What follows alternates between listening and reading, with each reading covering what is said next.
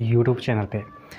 दोस्तों, आज अपन बात करने वाले हैं, जो बिहार में सिविल कोर्ट के वैकेंसी निकले हैं, उसमें क्लर्क के भी पोस्ट हैं, स्टेनोग्राफर के भी पोस्ट हैं और आपके प्यून के भी पोस्ट हैं। तकरीबन सात हज़ार और छः सौ बानवे, यानी कि तकरीबन सतहत्तर सौ आप मान के चलो कि वैकेंसी निकले हैं। तो इसमें आज अपन डिटेल एनालिसिस करेंगे, किसके क्लर्क की ठीक है? क्लर्क के कैसे क्वेश्चन पूछे जाते हैं और किस तरह से पीछे क्वेश्चन पूछे गए हैं, अभी क्या क्या पैटर्न है, कैसे क्वेश्चन पूछे जाएँगे और कितना कट ऑफ़ निकालना है और क्या एज लिमिट है, क्या आपके जो सैलरी है, तमाम जो चीज़ें हैं, वो हम इस वीडियो में चर्चा करने वाले हैं। इसी तरह का वीडियो आपको स्टेनोग्राफर का भी मैं दे दूँगा, इसी वैकेंसी का। और इसी तरह का वीडियो मैं आपको जो प्यून है, उसका भी दे दूँगा। क्योंकि एक ही वीडियो में सभी का सिलेबस को कवर करना मुश्किल है तो लंबा भी वीडियो हो जाएगा। तो आज अपन सिर्फ़ और सिर्फ़ क्लर्क की वैकेंसी के बारे में डिस्कस करेंगे, ठीक है? तो शुरुआत से देखिएगा। और चैनल पे नए हैं तो सब्सक्राइब कर लीजिएगा, क्योंकि बिहार से रिलेटेड जितने भी वैकेंसी आएँगे, सब आपको यहाँ पे नोटिफिकेशन मिल जाएगा और डिटेल में हम आपको समझा देंगे। तो ये जो वैकेंसी है जो देखिए एक्सपेक्ट किया जा रहा था कि वैकेंसी बहुत पहले निकलेगी, लेकिन चुनाव का अब माहौल आने वाला है तो वैकेंसियाँ आनी चालू हो जाएगी, आपको भी पता है। इसकी वैकेंसी जो निकली थी क्लर्क की, वो पिछली बार निकली थी 2016 में, और इसका रिक्रूटमेंट फाइनल हुआ था और 2018 में मेरा भाई ज्वाइन किया है इसी क्लर्क को। तो काफ़ी लंबा समय लग गया था। आप 16 से 18 के लास्ट में ही या मैं, मुझे याद है कि तकरीबन छठ के पर्व था, उस समय इसका ज्वाइनिंग आया था 2018 में। 18 में हाँ 18 में छठ के पर्व के समय इसका ज्वाइनिंग हुआ था। तो आप समझ सकते हैं कि कितना लंबा खींचा था, लेकिन इस बार इतना लंबा नहीं खींचेगा क्योंकि इलेक्शन बीच में है। और तमाम जो आपने देखा होगा बिहार एसएससी का जो नोटिफिकेशन है, उसमें ये दे रखा है कि हम इतना दिन के अंदर सब चीज़ करवा लेंगे। तो इसका भी तमाम जो चीज़ें हैं, हालाँकि सोलह तक अपलोड करनी है, तुरंत एक दो दिन में आपको पता ही चल जाएगा, लेकिन एक्सपेक्टेड यही चीज़ें हैं। देखिए क्लर्क की वैकेंसी इसमें तीन हज़ार तीन सौ पच्चीस वैकेंसी है। कितने हैं? तीन हज़ार। काफ़ी संख्या में आप मान के चलो। लेकिन सबसे बड़ी इसमें डिमेरिट ये है डिमेरिट या कह सकते हैं कि लड़कियों के पॉइंट ऑफ़ व्यू से मेरिट ये है कि पैंतीस परसेंट लड़कियों का इसमें रिज़र्व है। ठीक है? अब इसमें भी कौन से लोग भर सकते हैं? जो आपका अदर स्टेट है, वो जनरल में आ जाएँगे। ठीक है? जनरल में। अदर स्टेट वाले जनरल में आ जाएँगे। बाकी बिहार वाले को आरक्षण मिलेगा। बिहार वाले भी जनरल हैं तो जनरल में ही रहेंगे, लेकिन ओबीसी हो ईडब्ल्यूएस हो, हालाँकि ईडब्ल्यूएस और उसके बाद ओबीसी में भी दो कैटेगरी आ जाते हैं बीसी और बीसी वन बीसी टू आ जाते हैं तो वो सब रिलैक्सेशन यहाँ पे मिल जाता है। डेट आपके फॉर्म अप्लाई के हो रहे हैं बीस सितंबर से बीस अक्टूबर के बीच। एज की बात करें तो देखिए, इसमें क्लर्क की जॉब है ग्रेजुएशन आपको चाहिए इक्कीस से सैंतीस वर्ष जनरल है। ओबीसी का तीन बरस आरक्षण एससी का आपको पता है एसटी का। मतलब कि तमाम जो आरक्षण की जो सुविधाएँ हैं बिहार में लागू वो आपको मिलेगी ठीक है? सैलरी की बात करें तो स्टार्टिंग में आपको 32 से 33 के अप्रॉक्स लेकिन इंसेंटिव वगैरह जोड़ के कहाँ पे पोस्टिंग होता है 35 के अराउंड से आपको मिल जाएगी यानी कि पैंतीस हज़ार के अराउंड आपको बन जाएगी सब चीज़ मिला के पैंतीस के स्टार्टिंग की ज, आ, बात करें तो। और ये ग्रेड पे की बात करें तो ग्रेड पे जो है, वो चौबीस सौ है। ठीक है ना? तो ये जो आपके निम्न वर्गीय लिपि होता है एलडीसी होता है, उससे ऊपर वाला पोस्ट है, यानी कि आप मान के चल सकते हो कि निम्न वर्गीय लिपि का जो होता है, उसका जैसा यानी कि जे ए से जे ए सी के जो वैकेंसी है, वैसा कुछ होता है। यानी कि जूनियर अकाउंट क्लर्क के जो वैकेंसी होते हैं, उसके बराबर की ये वैकेंसी है।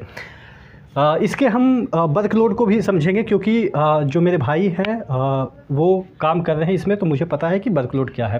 क्वालिफ़िकेशन ग्रेजुएशन होना चाहिए। सिंपल कोई भी ग्रेजुएशन चलेगा, ठीक है? कंप्यूटर का नॉलेज खोज रहा है। देखिए, सबसे बड़ी कन्फ्यूज़न यहाँ पे ये आ जाती है कि कंप्यूटर का नॉलेज खोज रहा है तो मेरे साथ भी ऐसा ही हुआ था। बिहार एसएससी का इंटर लेवल में कंप्यूटर का नॉलेज लिख दिया था, लेकिन बाद में क्या मांग रहा था कि कंप्यूटर का सर्टिफिकेट भी चाहिए, यानी कि नॉलेज का सर्टिफिकेट हालाँकि ये वांछनीय योग्यता है, लेकिन बाद में बिहार है, आपको भी पता है कि कुछ भी मांग सकता है तो मैं आपको सजेस्ट करूँगा कि चार पाँच सौ रुपया में, आपको भी पता है कि बिहार में सब चीज़ जुगाड़ से हो जाता है। चार पाँच सौ में डी सी ए की या जो भी होता है कंप्यूटर नॉलेज की बेसिक कंप्यूटर नॉलेज की डिग्रियाँ मिलती है डिप्लोमा की। आप जाइएगा, किसी भी इंस्टीट्यूट से बोलिएगा कि हमको रजिस्टर्ड ध्यान दीजिएगा रजिस्टर्ड होना चाहिए गवर्नमेंट से। तो वहाँ जाइएगा पाँच से छः सौ रुपया में आपको मार्कशीट और आपको सर्टिफिकेट दे देगा। हालाँकि इसमें मांगा तो नहीं गया है आ, लेकिन फिर भी कभी भी मांग सकता है तो अभी तक अप्लाई करने से पहले आप ख़रीद लीजिएगा। ख़रीद क्या? आप जानते ही हैं कि ख़रीदना ही होता है पढ़ना तो पढ़ने वाले पढ़ते भी हैं नहीं तो ख़रीद भी लेते हैं। चलिए हालाँकि ज़रूरी नहीं है लेकिन कभी भी कुछ भी हो सकता है बिहार की बात करें तो ठीक है? तो एक रख लीजिएगा कोई ज़रूरी ऐसे नहीं है। पैटर्न की बात करें तो यहाँ पे देखिएगा हालाँकि डायरेक्ट मेंस होता था इसका जो एग्ज़ाम है वो डायरेक्ट मेंस होता था लेकिन इसके नोटिफिकेशन में ये कहा गया है कि जो आपका अगर ज़्यादा नंबर ऑफ़ कैंडिडेट हो गए तो हम पीटी लेंगे और पीटी का दस गुना यानी कि सॉरी मेंस का जितनी वैकेंसी है उसके दस गुना हम मेंस के लिए बुलाएँगे। तो आ, हम भी एक्सपेक्ट कर रहे हैं आप भी एक्सपेक्ट कर रहे होंगे कि इसमें वैकेंसियाँ ज़्यादा है तकरीबन सात हज़ार सात सात सौ के अराउंड है। तो इसमें नंबर ऑफ़ कैंडिडेट तो होंगे अदर स्टेट वाले भी कूदेंगे, यूपी और आपके झारखंड वाले तो कूदे ही कूदेंगे।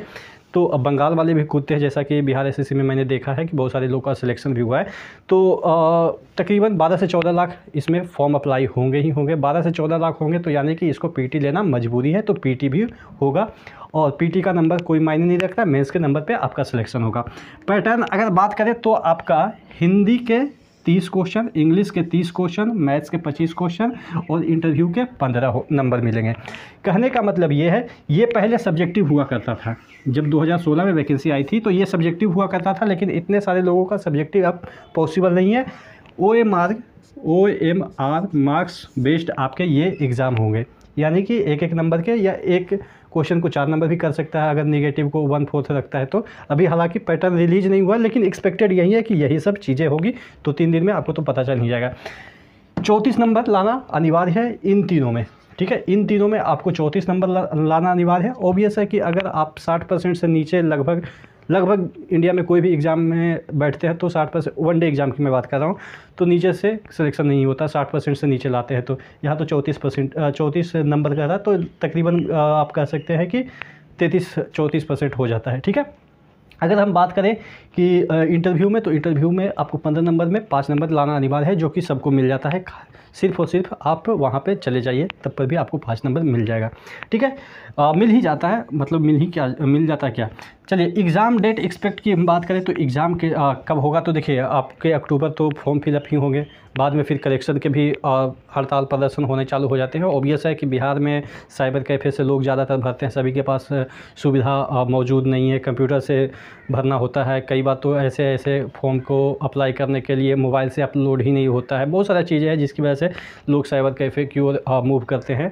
तो बहुत सारी खामियाँ हो जाती है। साइबर कैफ़े वाले तो वैसे भी जानते हैं कि कितना पढ़े लिखे होते हैं। लगभग तो बिहार में वैसे ही है कि गाना वाना बजाते रहते थे ज़िंदगी में और एक लैपटॉप लेके साइबर कैफ़े खोल दिए। तो गलतियाँ तो करेंगे ही तो करेंगे तो मोडिफिकेशन लिंक भी आएगा तो यानी कि आपको मिड नवंबर तक तो मोडिफिकेशन लिंक वगैरह ये सब करते करते लग जाएगा। तो नवंबर, दिसंबर तक उसको स्क्रीनिंग वगैरह करेगा। उसके बाद हो सकता है तो आपके जनवरी के मिड में आपके एग्ज़ाम हो जाएँगे, जनवरी के मिड में, या जनवरी के लास्ट भी जा सकते हैं, लेकिन हाँ जनवरी में होने की संभावनाएँ हैं।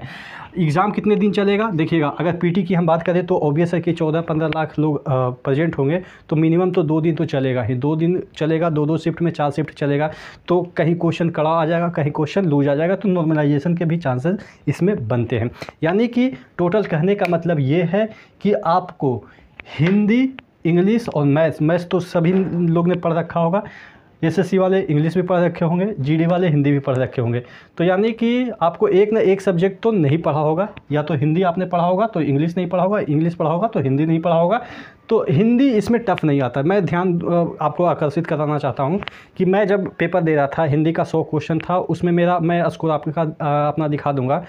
उसमें शायद एटी सेवन, एटी नाइन आ गया था मेरा। सौ में एटी सेवन, एटी नाइन। यानी कि कहने का मतलब हिंदी मैं सिक्स क्लास तक ही पढ़ा था। उसके बाद सेवन्थ से मैं संस्कृत ले लिया था। तो हिंदी इतना टफ नहीं आता है जितना इंग्लिश में थोड़ा सा रूल रेगुलेशन, बहुत सारी चीज़ें हैं, वो रहता है। लेकिन हिंदी उतना टफ नहीं रहता। आम बोलचाल की भाषा में आप जो बोलचाल की भाषा, बहुत सारे कहावतें आपने सुनी होगी, उसी में से तकरीबन आपको आधा नंबर आ जाएँगे। यानी कि पंद्रह नंबर तो आसानी से आपको हिंदी में दो दिन पढ़ेंगे तो आ जाएँगे, यानी कि सिंसियर होकर पढ़ेंगे तो। लेकिन फिर भी आपको यहाँ पर सिलेक्शन लेना है तो हिंदी भी बढ़िया से पढ़िए इंग्लिश भी बढ़िया से पढ़िए, मैथ्स तो सभी ने पढ़ रखा होगा और पढ़ना भी चाहिए, ठीक है?